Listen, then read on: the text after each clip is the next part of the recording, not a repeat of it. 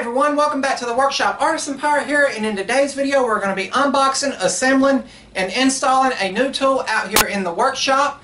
As you guys know, I primarily focus in scroll saw woodworking and this 16 inch variable speed Delta scroll saw that my grandfather got me has given me years of amazing service but it's starting to show its age and I'm limited with the size of stuff I can make with it being 16 inches. So I finally saved up enough and it was actually a deal on Amazon and I actually ordered and got the Delta 4694 20 inch variable speed scroll saw. This is a tool that I have wanted for a long time now and I'm really happy to finally upgrade. I'm not going to get rid of the old scroll saw simply for the fact that my grandfather got it for me and it has a lot of sentimental value and a lot of memories tied in with it with him watching me really learn how to take the scroll sawing to the next level. But I'm really excited to unbox, assemble, and add this. We're going to be moving the older scroll saw somewhere else out here in the workshop until I find a good home for it to st either store it or just put it up completely. But right now what I'm going to do is move the camera a little closer to the workbench. We're going to unbox this Delta scroll saw, get it put together, and give it its first test run. And I'm going to take my X-Acto knife and cut the packing tape and remove the pieces from the box. Everything was nicely packaged in plastic and styrofoam. And before anyone asks, there was nothing wrong with my 16 inch Delta scroll saw. It was just getting older and finding replacement parts for it if something were to go wrong was getting very hard to do so I just wanted to go on and up grade scroll saws. Taking everything out of the plastic and styrofoam here, it was nicely packaged by Delta. There is the bevel knob, the instruction manual and parts list, and a couple tools to help with the assembly. It came with two scroll saw blades.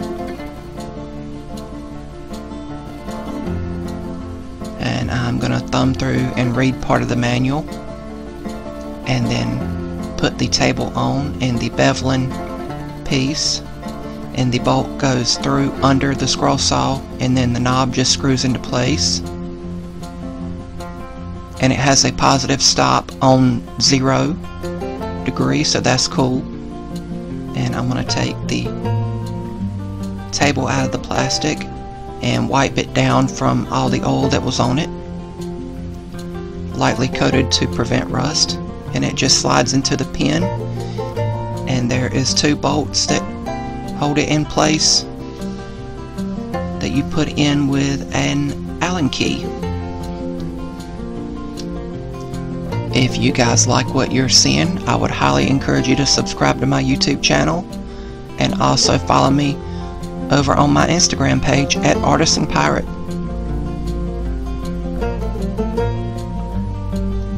Assembly was very simple. It was just the three bolts, the bolt for the beveling guide, and then the two bolts that held the table in place and everything was fairly straightforward. But now that everything's together, we're gonna turn it on for the first time. And here we have the fully completed Delta 4694 20 inch variable speed scroll saw.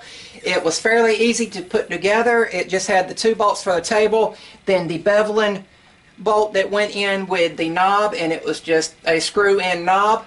Really straightforward assembly. The table just slid into the pin.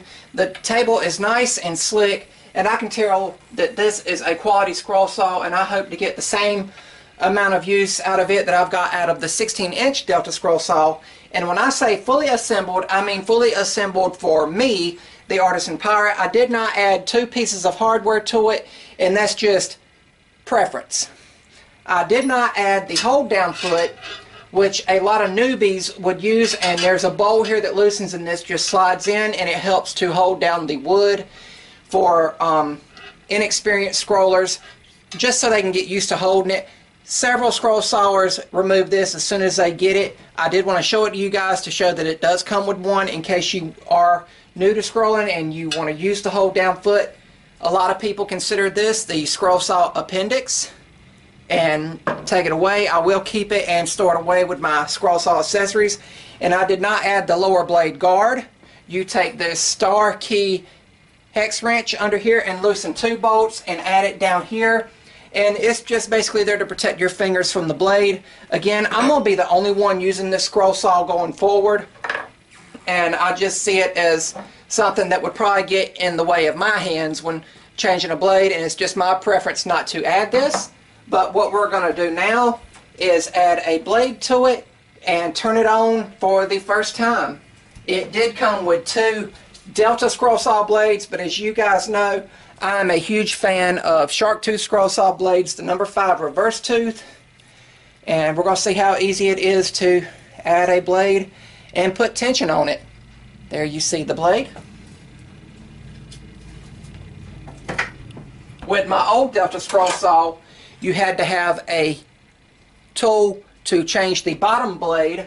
I won't be needing that going forward. That was one of the setbacks for the old scroll saw.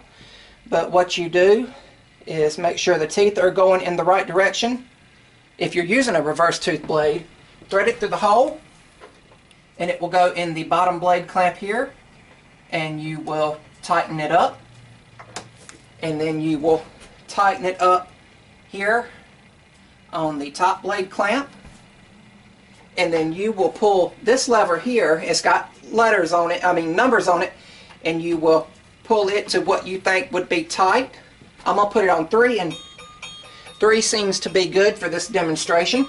You hear that high pitch ping, that's what you want. I'm to put the dust blower near and I love this. It's got this variable air blower. The old scroll saw only had it blowing one way and it was actually blowing dust towards you. So I'm really happy to have this as well. I am going to plug it into the power strip and turn it on. Wow. It's variable speed, and this is the lowest cutting speed. We're going to slowly turn it up.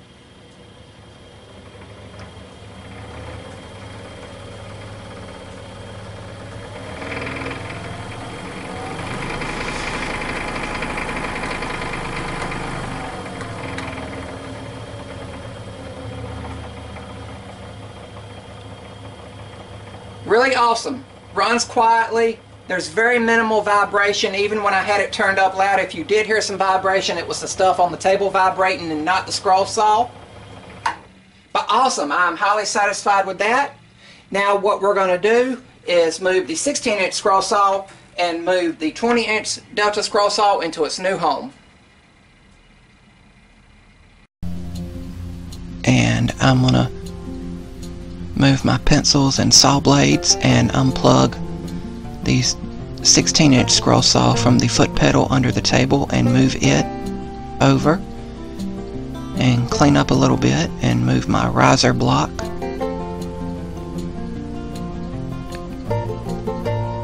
And then move the 20 inch scroll saw into its new home and it just fit here on the table cord under the table and hook it into my foot switch.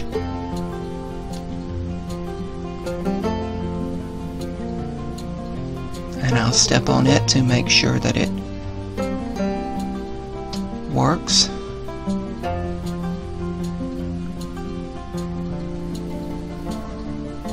And then I'm going to put this scroll saw on an angle with my riser block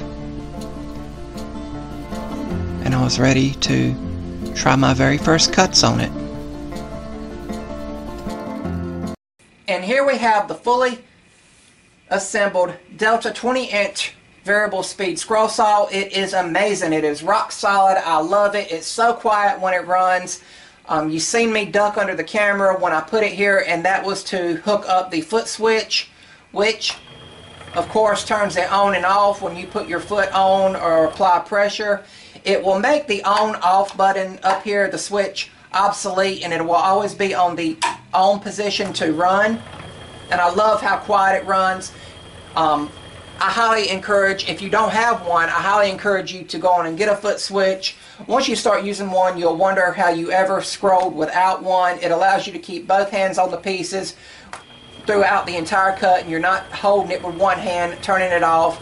Highly encourage a foot switch. You can also see that I've put the scroll saw up on an angle like I had the old scroll saw and I get a lot of questions why I do that and it is to reduce neck strain. So you're not sitting here kind of hunched over looking down with it at an angle. You're at a more relaxed um, viewpoint and vantage point and it's something I prefer doing I might actually raise up the angle on this. I don't know yet. I want to scroll with it a while at the old angle that I had the old scroll saw at and if I need to I'll raise it up a little bit higher. But since we've already got a blade installed what we're going to do is do our very first test cuts and this is just a piece of scrap pine wood I had.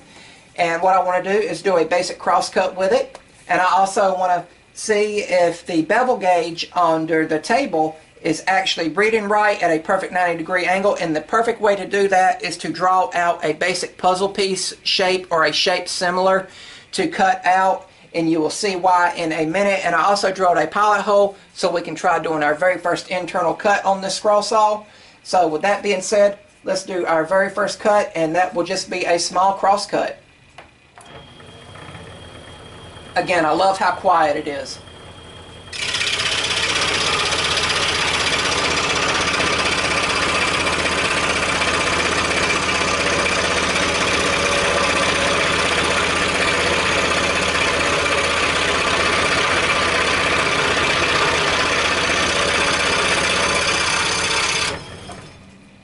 really awesome. I did not draw a line. That is nice and smooth. Cut it extremely well. The dust blower works very great blowing it that way. The old scroll saw it, had it just blowing towards your face and that was always just a nuisance and one of the downsides of the older model scroll saws. And now we're going to cut out the puzzle piece.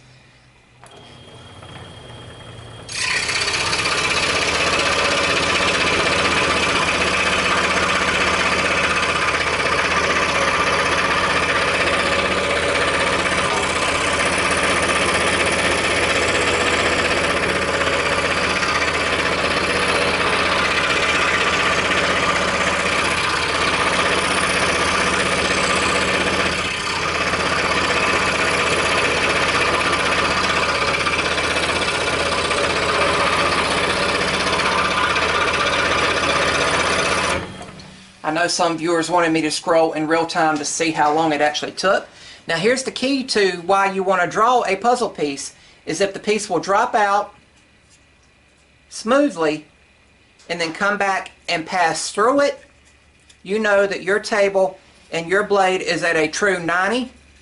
I do that periodically with the scroll saw and you can see it goes through very smoothly awesome and that will just be waste. It can drop down here in the bucket. And now what we're going to do is see how hard it is to change the blade for internal cutting.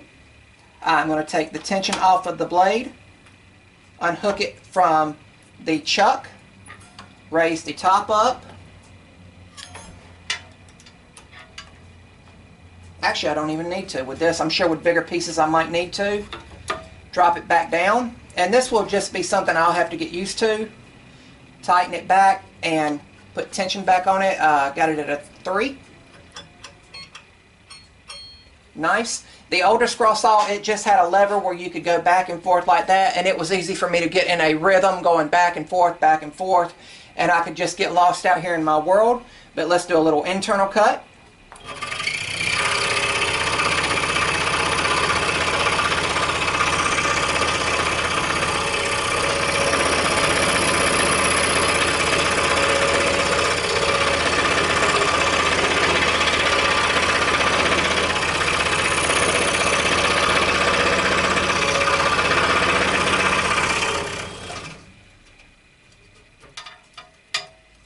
Piece out. Again, cut nice and smooth. Take the tension off, unhook the blade, and take it off.